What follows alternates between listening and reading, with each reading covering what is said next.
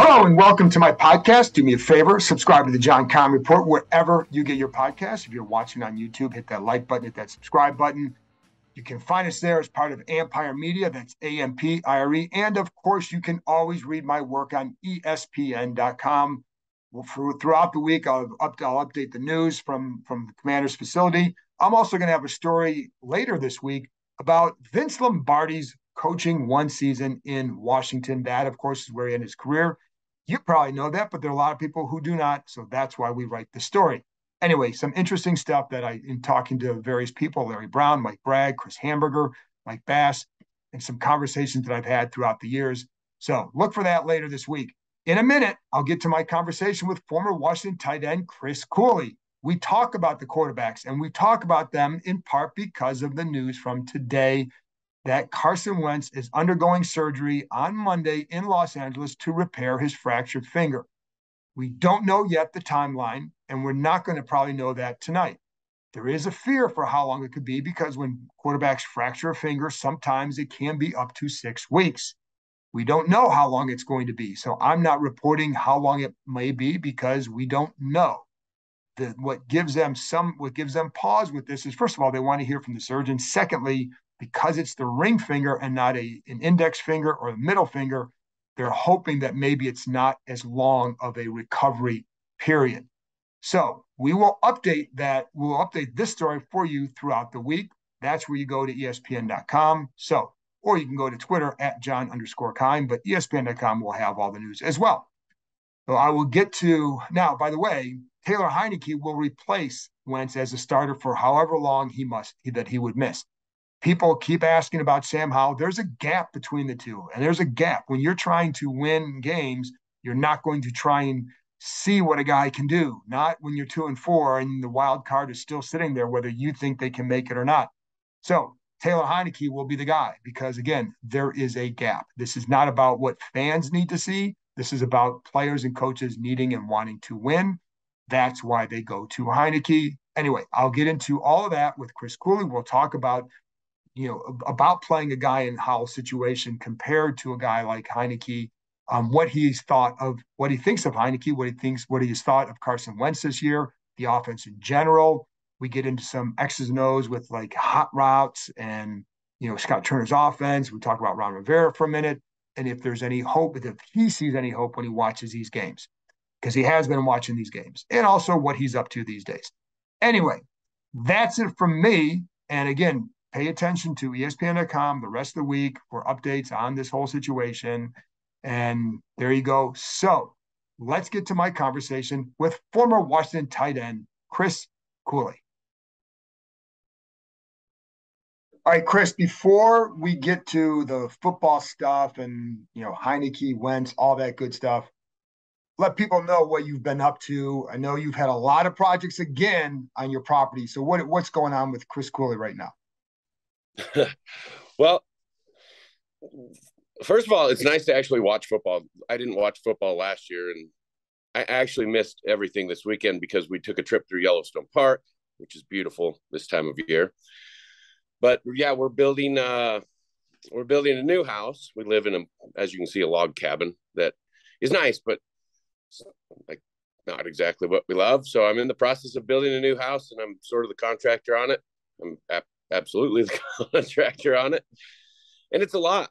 It's a lot of decisions. It's a lot of process. It's a lot of stuff, and seems to be every day for me right now. But I actually really enjoy it, Keim. I know you do. This. We, I know you do. And, yeah. And and I like.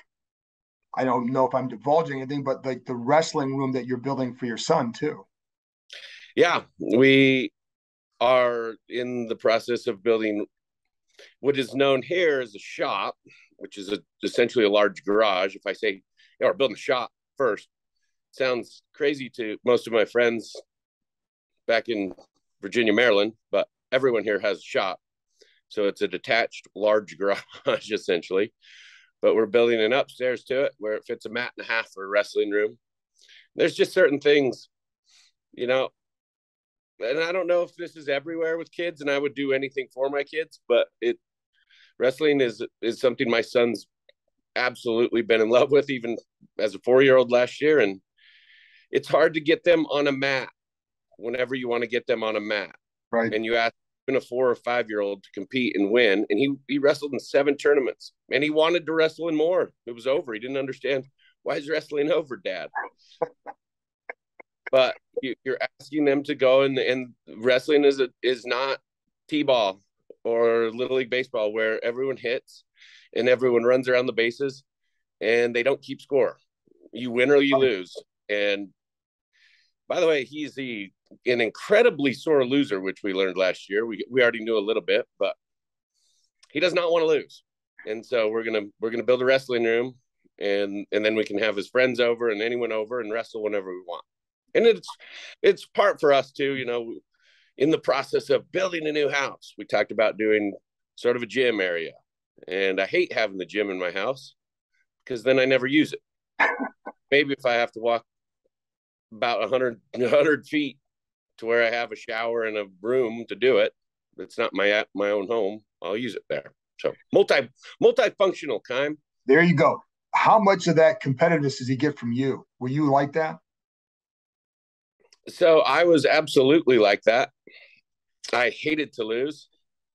I one of my favorite non-favorite moments about myself was my senior year in, in, at Logan High School playing baseball, and I struck out. I think for the second time, and I played center field, and I then proceeded to slam my bat and go get my glove, and I kicked it all the way to center field, which my mom told me she would never come and watch me play again if I ever did that. I don't know how my coach let me continue to play that game. I'm shocked at that. Full tantrum. That said, we played in a co-ed softball tournament about three weeks ago, and my wife struck out, and she slammed her bat and said some profanities. So I think it comes from both sides. it usually does. Um, you're watching games again this year. Why not last year? Well, first of all, it's not any parent I think understands this. And last year my kids were seven and four, and at this right. point eight and five and you do things on the weekends. Right. My daughter's in school. We try to do things on the weekends. Uh, Sunday's a great day to go skiing or in the fall to take kids fishing or camping. And so last year we were busy. It really had to do more with having young kids around. And for some reason, over the last couple Sundays, we've we had a birthday party at a friend's house where football was on all day. So the kids had their birthday party and and we watched a couple games of football and we were at a cabin the week before camping and we had direct tv so we watched football on sunday. But it's it's really actually enjoyable. I think i've talked about this with you before yeah. but in calling the washington games and playing you never really see games. Right. And so it's fun to, to get a chance to watch some other games i've watched you know three of the commanders games live which hasn't been very much fun. no. I'm why I'm not watching like the Bills play or one of the better games of the week, but I seem to trend tend to watch to watch Washington.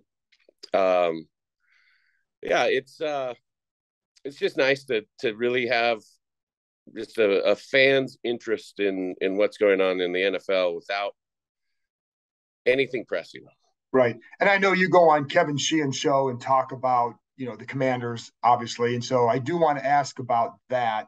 And as we record this we don't have an update yet on carson wentz's finger how much time he'll miss. We'll find this is monday morning. We'll find that out probably monday night what's going on there. But i do want to ask, start there. What have been your impressions of wentz thus far? The first impression is that without immediate answers, I don't think he's comfortable in, in essentially solving the problem or finding solutions or getting through progressions. It, it's not been great as far as time in the pocket for Wentz either. And maybe some of that's on Wentz, maybe some of that's on line, play calling. But Wentz has really struggled, in my opinion. Uh, one, getting the ball to his first read in in with some anticipation. I think he needs to see his first read open more times than you'd like it to see it open instead of just letting the ball go. It's all a lot of times it's an extra hitch and it's patting the ball a little bit too long. And then two, because he's staying on that too long, I don't think he gets to two and three quick enough. And so he's struggling to get across the board through progressions. It's not that he hasn't done it. He's he's done it. He's just not doing it on a regular basis and and, and that's he's struggling a lot with that. And then two, he's been really inaccurate. And I think even more so watching this last week's game and not watching it because I've watched them all on the all 22 and oh. on film and some of that you don't entirely see McKissic four yards downfield and the velocity on some of the balls that he's right. throwing. Like I, I think the t- lack of touch to underneath throws with the inaccuracy makes them really, really tough to haul in. You know, when you get that ball coming 60 miles an hour at your knee behind you, you, you can get your hand on it and anyone can say, man, that's a, that's a ball that could be caught. It's just not a ball that gets caught often. Is that for some of that stuff? Is that trust, familiarity with offense, or do you think it's just him? Well, I think a big part of the inaccuracy right now is him. I'm not sure exactly what he's got to go through to fix that. I, I do think being uncomfortable in the pocket is not aiding him at all in right. being able to make some of those throws as far as just relax and just get it to your guy. You know, the other thing you see with Carson, and I, I was, I was a huge Carson Wentz fan in Philadelphia, and I'm, I, I still like Carson Wentz. I, I do. I enjoy watching him play, but he was capable of moving in the pocket and making so many big plays off schedule and yeah. off script in, in comparison almost to, to what Josh Allen does in yeah. Buffalo for a little bit in, in Philadelphia. And I mean, any, anyone that watched him play for the Eagles, even in DC was going, wow, this, this guy is a huge problem. And so because he was able to evade and get out of the pocket and make some of those big throws, I think maybe some of the issues were not seen with Carson Wentz. And right now, he's not capable of of moving and running and scrambling the way he was three years ago before the, some of the injury stuff. He's just not that guy. And I've also thought about that a lot with myself and watching not just Carson, but guys as they've evolved and changed in their careers. You don't always recognize that in yourself. It's tough to recognize. Your brain's telling you this this is me, this is the play I make. I know I can make this play. And I go back to the year after my knee surgery, thinking I was hauling ass or thinking I was making quick cuts and bursting out of things. And then you watch it on film, and even, and even then, it's still you. So you kind of give yourself the benefit of the doubt, but you don't have that full realization that right. I'm not that fast uh, or I'm not that quick because you used to be, and your mind sees it that way. And I think that probably some of Carson's problem is is maybe that in a little bit that when he starts to move right or left or like there was a for instance he was run down in the tennessee game and i'm terrible with names and i should be better but 98's a, a stud. I, I get it. Yeah simmons is a stud but three years ago carson wentz would have outrun simmons to the sideline and and simmons hawked carson wentz down really from from behind and you look at that and say well, I'm sure he's saying, did he seriously just get right. that guy really fast? I guess, but it's it's not. It's that he's not as fast. So I, I, go ahead, Cam. No, no, I was going to ask you about that, about the limit limitations. Like to me, his immobility has limited the offense, given the problems in protection, and that's where, like, when you look at a guy like Heinicke, could he give a jump start just because of that? yeah, I think the answer, and I think you're going to see it this week, is yes. And I don't want to sit here and, and say Heinicke is a better quarterback than Carson Wentz. Right. I think Carson Wentz, even right now, does have more upside, and mm-hmm. and a lot of that is does Carson Wentz continue to work and fit in with the team the way he's supposed to, and not some of the things that happen in Philadelphia. And I mean, take out all the extracurriculars, which is not right. really fair. Uh, I think Carson does still have more upside, and I think he has the ability to evolve and a, bit, a bigger arm and can make some different throws.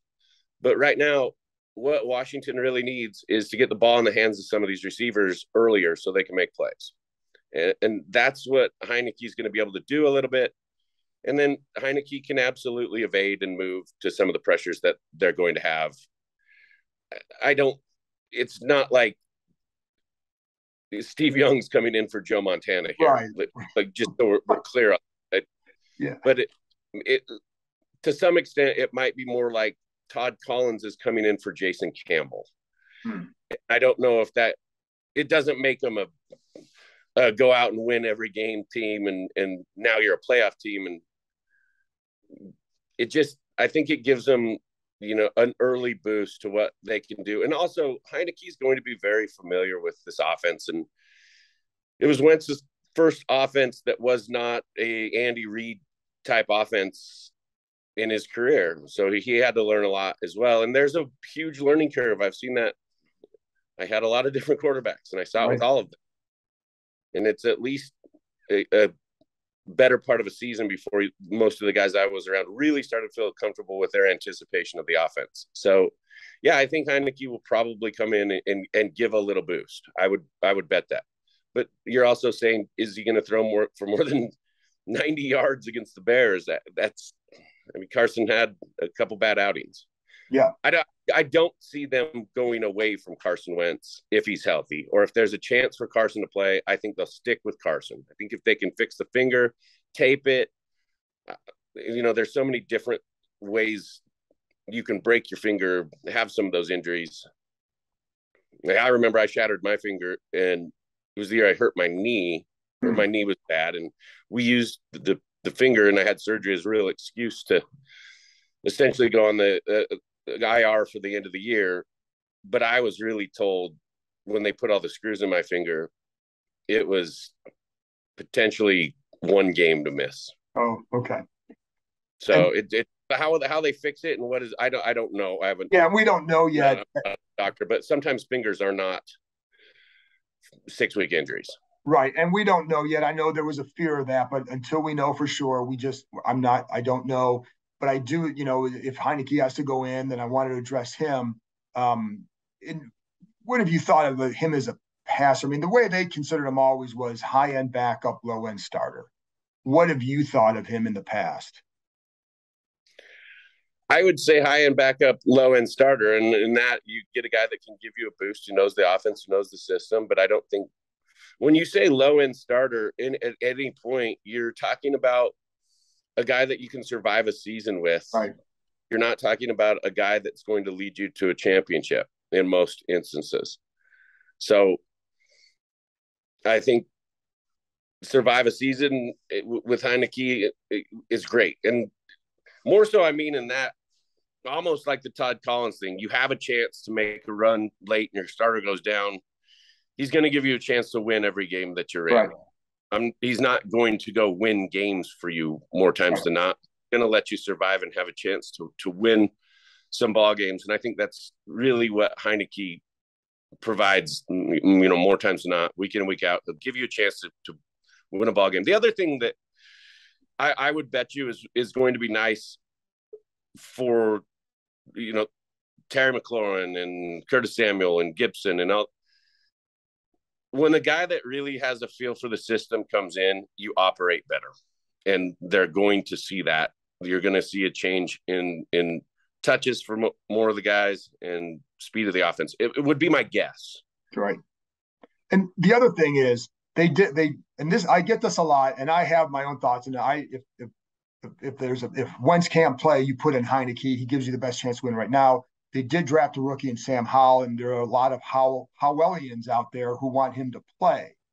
If you're a veteran and you see, like, you know, because I know fans think, oh, they're two and four, they're not going anywhere. Coaches and players don't feel like that at this point, right? They're not going to say, oh, the season's over because we struggled early. But what, so what would be the danger of putting in a guy like Howell? I know you're not familiar with them and, and all that, but the danger of putting in a guy, fifth round pick, hasn't played, etc. Or what would you think of that? Uh, well, first of all, you it's it's hard to really say this, but in the uh, it's not hard to say this. Um, point blank, we're all independent contractors, and having a better year helps us individually.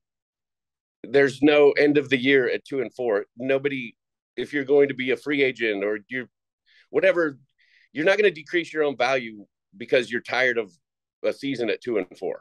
Right. You go play. Everyone's out to play for themselves.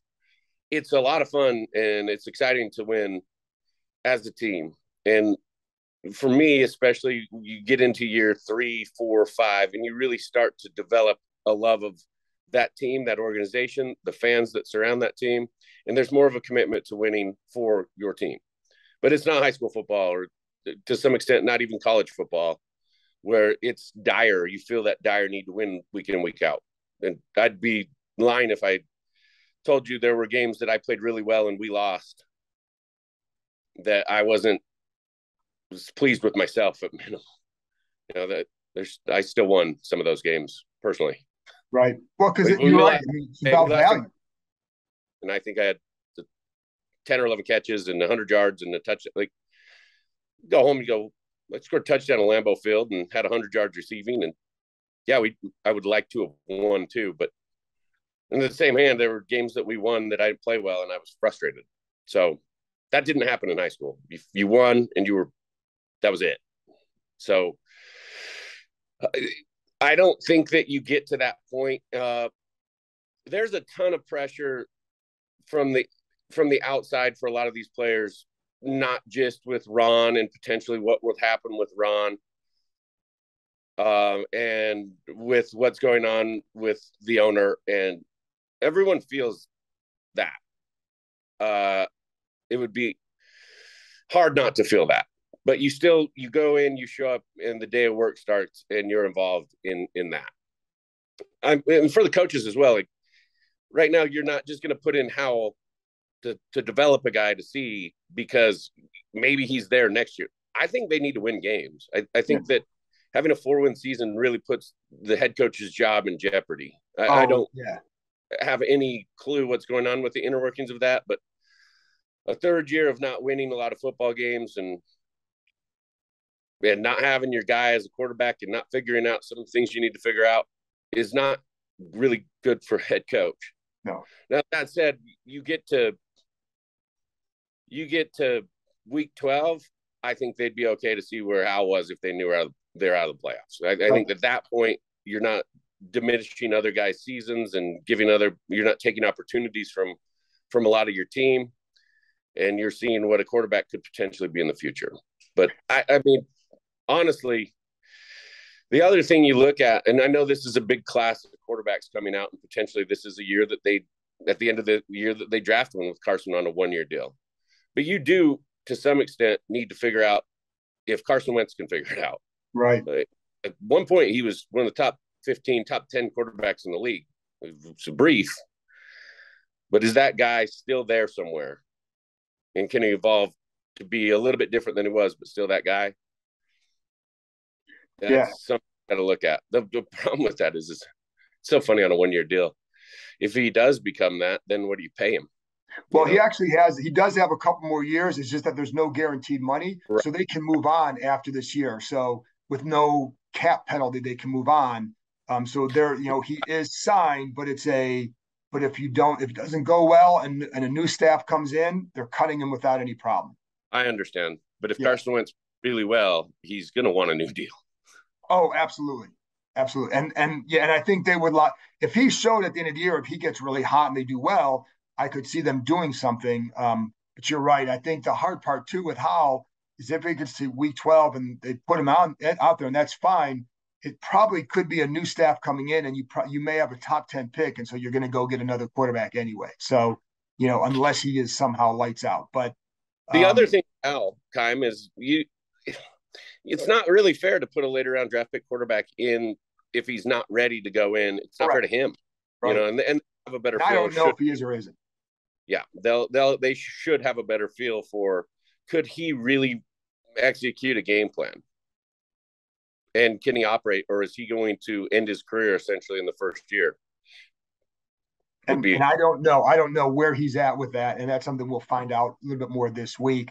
Um, also, when you look at this offense, and, and I talked about this with you a little bit on the phone, but there was a play against the Bears, and it's just one of those plays where I'm like, I don't understand why somebody can't attack this area when it was the blitz. It was that first blitz. It was like a third and six or seven. Essentially, there's three. It's a three receiver route, and there's three defensive back, but they're all behind the sticks. So the blitz comes, and the middle of the field is wide open, and you have McLaurin and, and Samuel in stack, and nobody's attacking the middle. Like nothing is broken off to account for a blitz coming, etc. I don't. I'll be honest. I don't get, and that's something I want to find out, ask more about this week and I've been harping on this because the middle of the field is wide open. It's an easy first down if somebody just breaks off their route, if they have the freedom to break off that route. So, do you remember that play and what, you know, why do some offenses use hots and some not? Well, some offenses use hots because they don't have built in answers for imminent pressure, pressure that they can't block. And I think that particular play earlier in the game where Smith comes through is is a zero blitz. It's all out blitz, which means they're bringing one more than you can protect with because you, you can't protect with the quarterback. And Washington's in a max protect situation where they where they struggle on this and where they're struggling with a lot of these is when you're in that max pressure situation, you can't give up A or B gap pressure. You can't give up immediate interior pressure. You're asking your quarterback to potentially drift right or left from one side or the other where he knows he's not protected to get a ball out. You know, it, you want that pressure to come from the edge rusher. And then you see a quarterback start to move. If, it, if it's off his left edge, he'll start to drift right, drift right, right drift, make the throw. But he's not able to do that because they can't pass off the interior stunt and blitz and between I think it's between the center and guard, right? Yeah. Where Smith comes. Yep. He essentially goes unblocked. And you really they've struggled all year to pass off some of those blitzes and stunts and to communicate as an offensive line. And there's a lot of different ways offensive lines do this. Um, there's a lot of different calls that are made. But what right now Washington's struggling with it. They're sticking on their guy too long. You know, and a guard got a D tackle and and maybe they man it up and maybe it was a back and that missed Roquan Smith or you know maybe there's some other error but there's got to they have to stop having some of these errors. You know they if they want to give Carson Wentz a chance you, you can't have immediate A or B gap pressure. That's that's a dead play. As far as the hots go I'm you uh, like I said a lot of offenses will have built-in hots. Uh I even like I remember a meeting with Kyle Shanahan or a couple where we had there's a certain play that we used a comeback as a built-in hot. I mean that's an 18-yard comeback, but it's it's like lead him downhill to the sideline, and if it's incomplete, you survive a bad play. If that's the only answer we have on this, that's the only answer. But it's built in that they're throwing that. I'm not exactly sure how that's functioning for Washington. It doesn't seem like they have any red seven hot routes you know, it's it's tough. But to that particular play, you know they are bringing one more than you can right. protect. So you are in a you are in a hot situation. You you have a free rusher because you cannot block. You know, eight with seven. It's just n- not going to happen. And and even if you let your back get out on like they'll peel their pressures if your back and tight end re- release. They're manned up to bring to see that pressure if if they want to come off of it. But uh I mean if your quarterback really sees it, and there were guys that would do this. I mean, I remember Brunell all the time. We'd get to the line or close to the line. He'd say, Hey, if it's all out here, whatever, like, just look at me. Right. Just fine. Or, hey, like, if you got Samuel in the slot, I, I would literally yell red seven at him like it's a joke from Wedding Crashers, but literally, yo, yo, yo, yo, just be quick, like, be quick on this because really, the amount of time it takes a receiver to run a, a 10 yard out route with the quarterback throwing it right before he comes out of that break is is usually enough time to get the ball out. I mean, that's one second. If he can take that ball, hold it, just really rock, hitch rock, drift a little, it, the ball can come out so to throw something like that. Do you think that's as much on Wentz maybe getting used to these receivers and them getting comfortable, or is that as much on and it may and again this is this may require more inside information but like is that as much as a built-in function of the offense well i think that it's that play in particular is is probably more of a function of the protection breaking down immediately because Roquan Smith is is right. is going to be one of like the way we always did this too is it, when you had these zero pressures is you had a list of numbers that are must block numbers.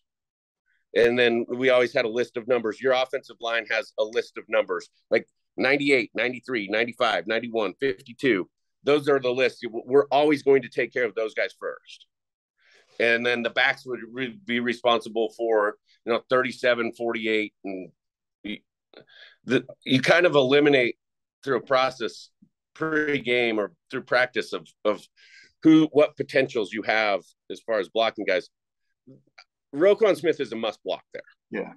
And so they missed somewhere up front. And it's hard to say always, you know, was the line in a full side right and your backside guard didn't slide? Or are they in a dual situation where they're going to post and then turn and pass it off? Are they in a full man situation and that makes it tough with some of that stuff? I, I don't know. And it's it's also a game. I like I said, I was out of town and I've been watching the all twenty two. It's also tough to tell when you're watching a live game on television where exactly that broke down and missed. Right, right, right, right. And you know, and, and you, know, always hear about like providing answers for the quarterback. How were some of the other coaches? I think you brought up Jim Zorn with some answer or answers or non-answers um, for quarterbacks.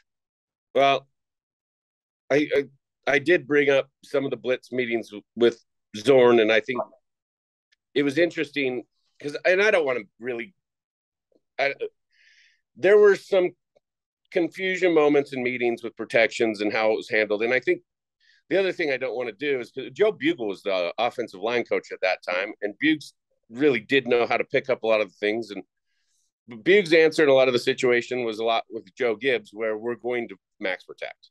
And Zorn didn't want to max protect in a lot of those deals. And so I think figuring out how to pick some of the stuff up was – maybe not agreed completely upon, or was confusion between Buggs had one answer and, and was going to coach it one way, but Zorn changed it. It just if everybody's not on the same page and there's not resolution to what we're going to do with pressure, then you're in trouble. And you have to practice a lot of these pressures and you have to practice a lot of these looks week in and week out and practice. And, t- and they do. I'm sure they have a blitz pickup period and right. work on a lot of that stuff. The the other thing that I always, you know, Mike did this and I thought this was really good. And a couple coaches I've been around did some of these things where you got a, you know, a four minutes at the end of practice with exotic pressures that you hadn't seen, or your defense is going to bring whatever pressures they're going to bring that week. And we're going to use our protection to pick up their pressures. Obviously, we didn't game plan for our own defense. So now you have their all outs versus your protections and how you're going to handle it. And so you really have to communicate because you can watch as much film as you want. Everyone's going to change their pressures the next week. Last thing, then, with when you're looking at again, you're from coming from the outside. But when you look at a situation, you've been in situations where you've won, you've been in where they've lost, and you start tough starts, better starts, etc. What kind of things do you look for to see like could a team get out of this? And when you look at these guys, you like because again, there have been a couple years, last couple years, they've looked terrible, and then suddenly they play better. So, what little things do you see to say, well, they could do this because of that, or is there is there hope here, or is there not hope? Well, there's there's always hope, and there were teams that I was on that probably didn't have as much hope as we would have thought as a team but you don't necessarily always see that. I don't think they look at themselves as a bad football team. They've played a couple games that would be, in my opinion, pretty bad football, including that Chicago, which was really not good football. So that's one of those ones. yeah, there's hope. And it's funny because there's a couple different scenarios. Like Joe Gibbs would sit down and say, okay, here's what we have coming up. And at least the next four games. It wasn't always just win a game, it's it's it's next game. It was okay if we can beat, you know, who like if we could beat Chicago this week, then we have Dallas coming next week. That's a game that we could win, and we'll find a way to get back to, you know, three and four or four and four, and then this is exactly where we would be at four and four in our conference in our division, and he would lay it out. And I, I think it it's hard not to do that as a coach because that is one thing that you could say one game at a time as much as you want. The players know exactly where they stand and exactly what it is. There's that, but then there's also the Mike Shanahan. We're going to evaluate everybody at three and six, and right. and then you make a run, and it seemed like they were. I don't think Mike was quitting on a year when he said that. I still don't believe that he was quitting on a year. I, I think he probably misspoke just a little bit, but there's always hope for that. I, I think it's a little bit dimmer when you look at the division. Yeah, like Philly's definitely. unbelievable right now. Dallas is a really good ball club, and that you know they they played tough with Philly for a while. And New York's all of a sudden coming on, and yeah. New York's doing some things, and you're looking around going, okay, well, where are we fitting into this? But right now, kind of with an extra game and an extra playoff team, two and four isn't the exact same two and four as it was five years ago or four years ago. Right. It's find a way to to get back to four and four and four or four and five, and let's we got to grow as a team, and we'll we'll make a run. But we got to win a couple games right now. Like you got to find a way to win a couple games right now, and they have a schedule that lends to winning some games here in the next stretch. So done is not really where you'd go with it. Is Rivera's messaging confusing to you at times? Uh, well, I don't. I'm I'm not in it the way you're in it, and so I I don't sure. sit and see. A, it's the funny thing when you're not that close to a team is you hear what's been the problem quarterback right eh, yeah and i wouldn't i would not say that rivera's strong suit is messaging he's not a he's not a wordsmith up there and I don't think he always understands. Like I think he knows a lot of the times exactly what he's saying and why he's saying it, but. I don't think he knows that nobody else hears it that way. Right. In, in, a lot of ways, it's on. It's it's a lot like my wife and I talking about uh, what we're doing as far as building the new house. And I say fashions. She says what? Um, that's actually not true. She knows what fashion is, but the, the, the a lot of times we're saying the same thing or we're agreeing on something, but we don't know how to you know, we're, it's a different language to some extent. I think with Ron, in a lot of cases, he doesn't hear how it's perceived in another way. Maybe. So wow. yeah, confusing would be a good answer for that. I, I think his intentions are are probably. I, I, believe his intentions for his team are, are really good, and I, and it seems like the guys do want to play for Ron. I also I also see a guy that gets frustrated a lot with the media when maybe he doesn't need to get his. I think he has different expectations. Like the media's out to get him sometimes. You're like, eh. I mean, yeah. they're just job asking the questions that they're supposed to ask. I mean, yeah. move. And Scott Turner, any thoughts? I think Scott's struggling right now. I, I've, I'm not exactly sure though when you think about it, is he struggling to some extent with quarterback and what Carson Wentz can handle on his plate? Is he struggling with some creativity? He's really, they've really been limited as far as what they're doing offensively, especially in some of the third down passing situations.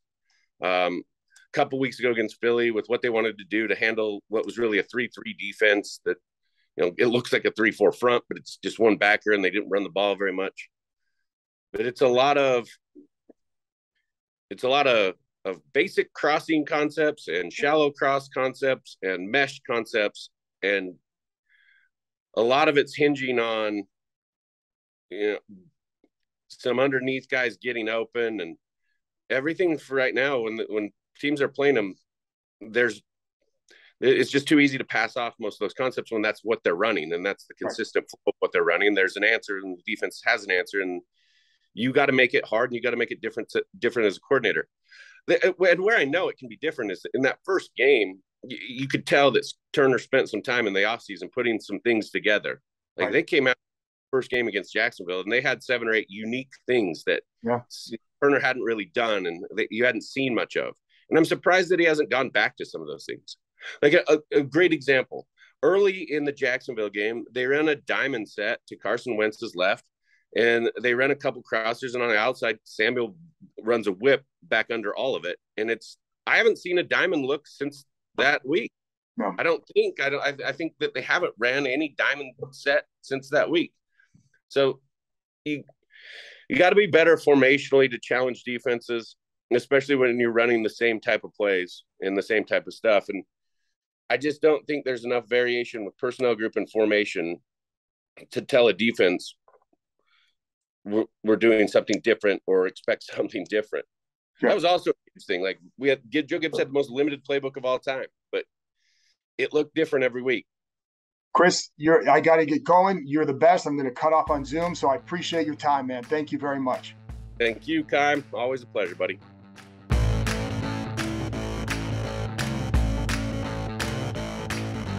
That's it for this episode. Thanks to Chris for joining me, and thank you, as always, for listening. I will be back on Thursday talking to ESPN Packers reporter Rob Demovsky. Yes, there's a game on Sunday, and yes, it still matters. So please tune in. Do me a favor and do that for your boy. I will talk to you next time.